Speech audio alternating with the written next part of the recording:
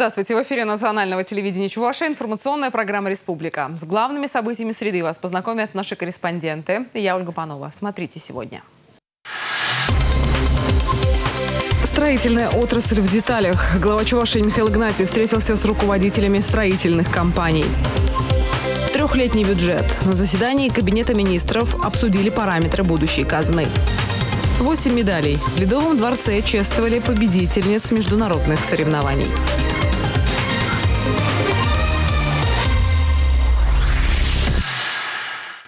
Правительство Чувашии одобрило предложение Минфина об изменении республиканского бюджета. Рассмотрели и проект главного финансового документа на ближайшие три года.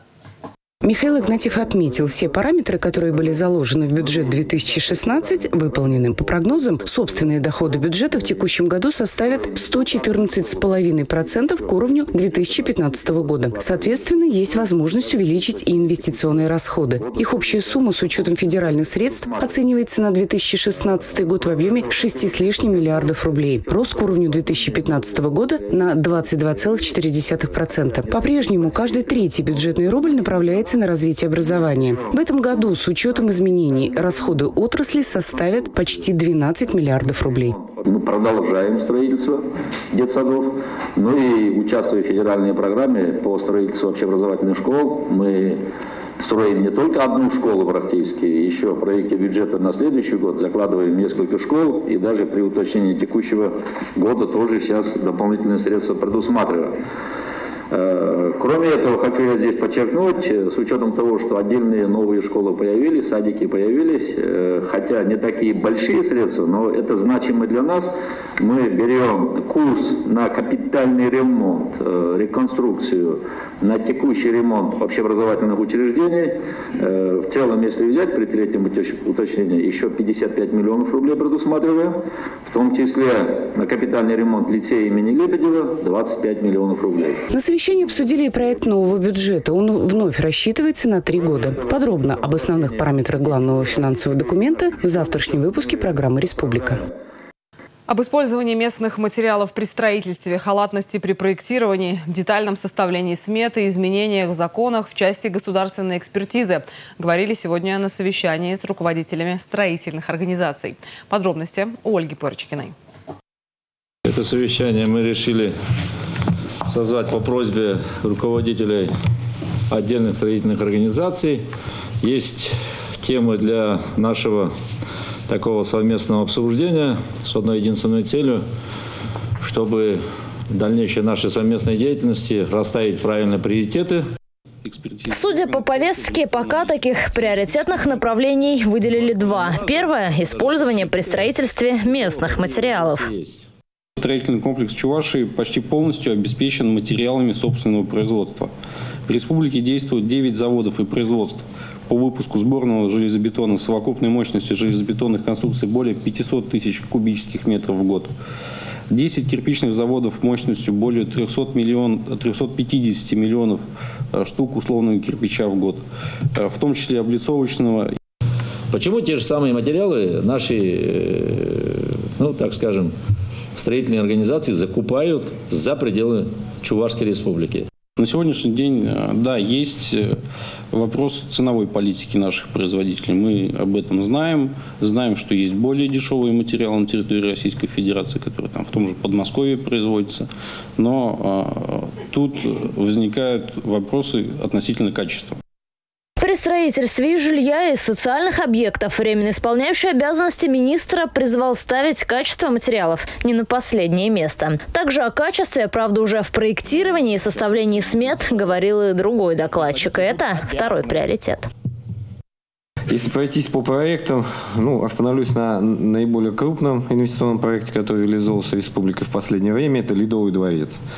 Э, привлекалось два проектных института, то есть, э, соответственно, вносилось в ходе самого проектирования ну, десятки, наверное, сотни изменений проекта, проводилось э, две экспертизы. Э, в конечном счете э, экспертизу конструктива мы получили по проекту, а цено, ценовую экспертизу э, фактически сегодня устанавливает суд, потому что мы ее в конечном счете не получили, как фактор э, объект не оплачен, идут судебные заседания. Буквально недавно введенный объект э, Mountain Bike, тоже, наверное, кто живет в северо-западном районе, его знают, порядка 70% э, проекта первоначально были переработаны в ходе строительства.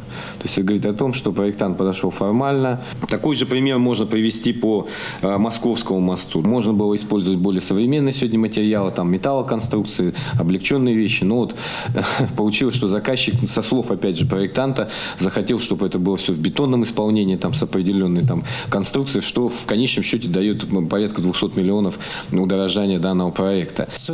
Список я могу продолжить, отметил Иван Моторин. Чтобы избежать таких неприятных историй хотя бы при строительстве детских садов, можно использовать типовые проекты. Однако у нас почти каждый муниципалитет стремится сделать что-то уникальное. Обсудили представители строительной отрасли и изменения в законодательстве по части экспертизы. Со следующего года документы будут принимать только в электронном виде. Ольга Пырочкина, Андрей Спиридонов, Республика. Пламя и черный дым в районе улицы Розы Люксембург. Такое видео сегодня прислали нам очевидцы сильного пожара в микрорайоне Альгешева. В МЧС нам прокомментировали ситуацию.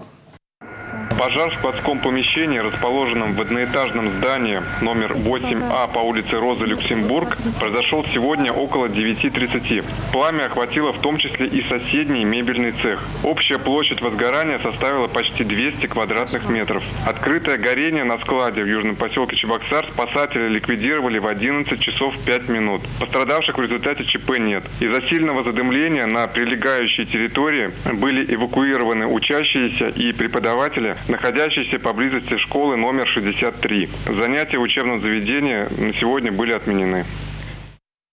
Самая скоростная скорая. Активисты Общероссийского народного фронта провели опрос и выяснили, за какое время в разных регионах страны к пациентам приезжает скорая помощь. Чувашия среди быстрых.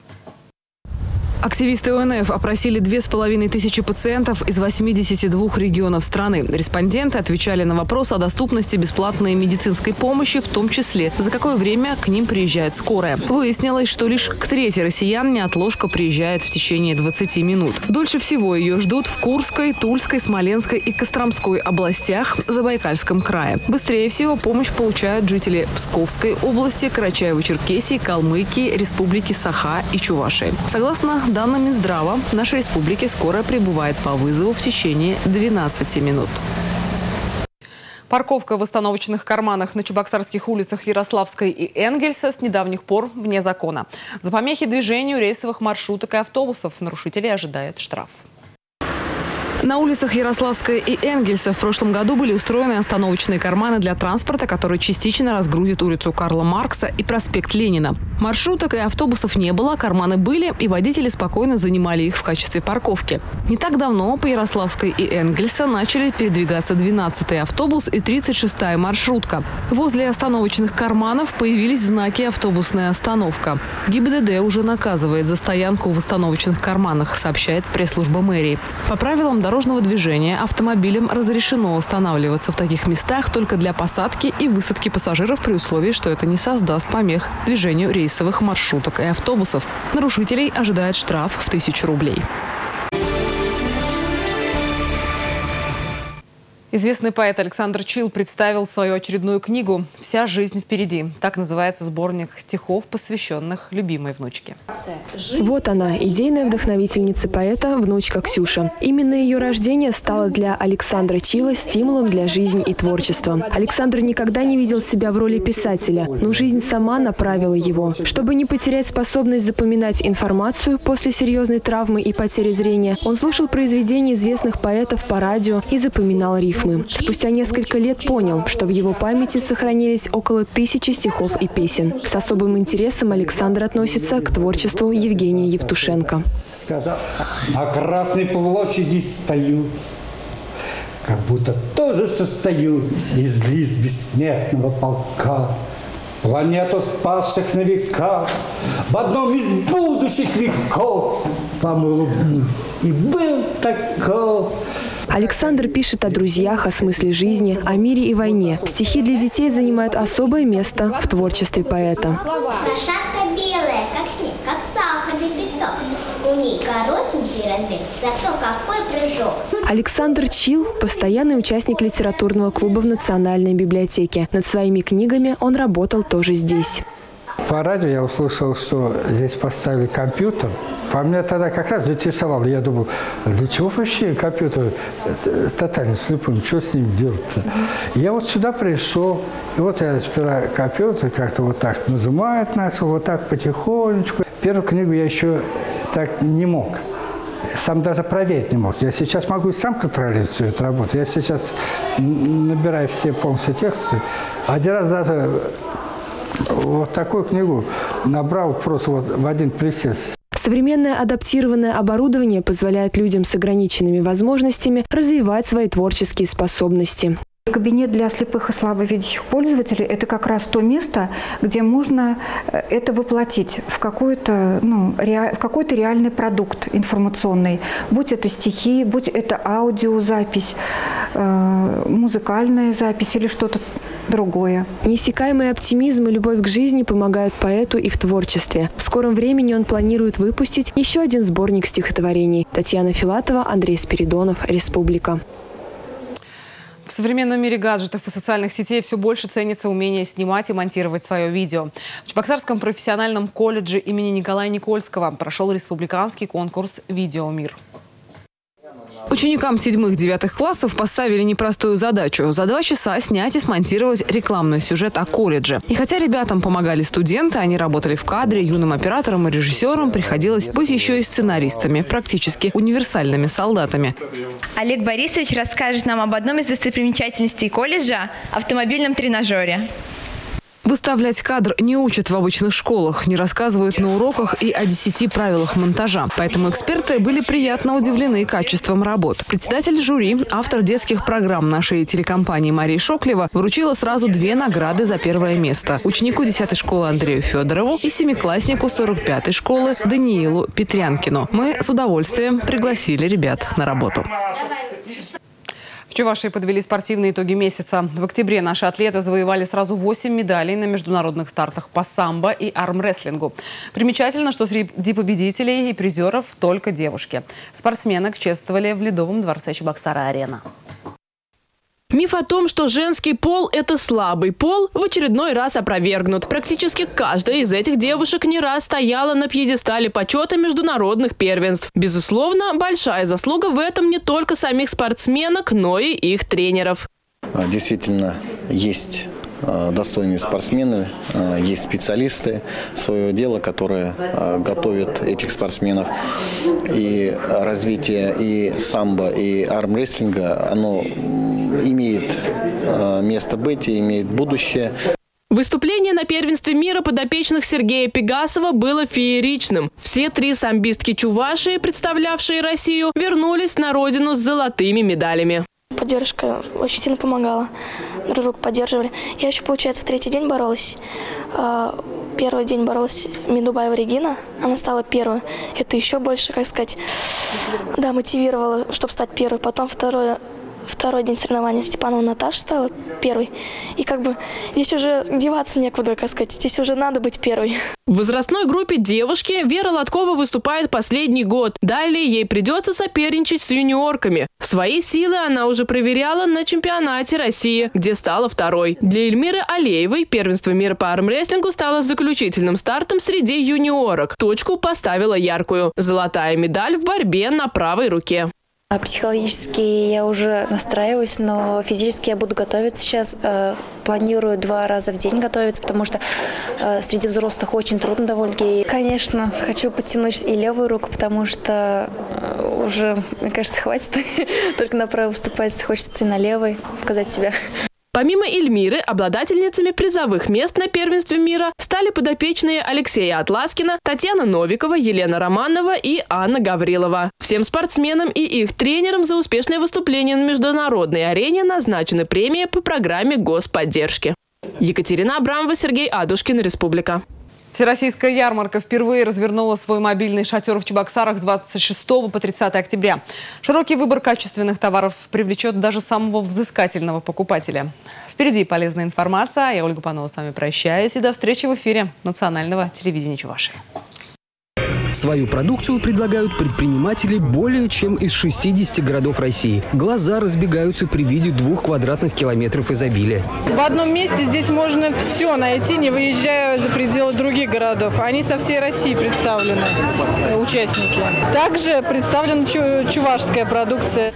Пензенская швейная фабрика приятно удивит достаточно низкой ценовой категории 4,5 тысячи рублей в среднем. Ивановский, Ульяновский и Чебоксарский трикотаж, а также огромный выбор головных уборов из Новосибирска не оставят вас без внимания. Немалый интерес как у детей, так и у родителей вызывает техническое творчество. Конструктор из дерева – мечта едва ли не каждого мальчишки. Компании всего один год, и мы очень востребованы. Все у нас в движении. Вот есть сложное, есть несложное, вот такие модели. Есть добрые машины, есть э, и военная техника. Конечно, есть на любой возраст. Большинство покупателей прежде всего привлекает удобное расположение ярмарки. Пришли на ярмарку, живем здесь рядом, решили купить сувениры и также игрушку для ребенка. Также купили здесь очень вкусный чай. Всем советуем почаще бы таких ярмарок. Очень рада, что хорошие чаи, хорошая торговля здесь и людям есть возможность такая купить все. Того, чего нет в Чебоксарах. Выгодные покупки, концертная программа и розыгрыши призов ждут вас на Всероссийской ярмарке в Чебоксарах. Проспект тракторостроителей, 76, рядом с гипермаркетом «Лента». Ждем вас ежедневно за покупками, за товарами с 10 до 7 вечера ежедневно со среды по воскресенье включительно.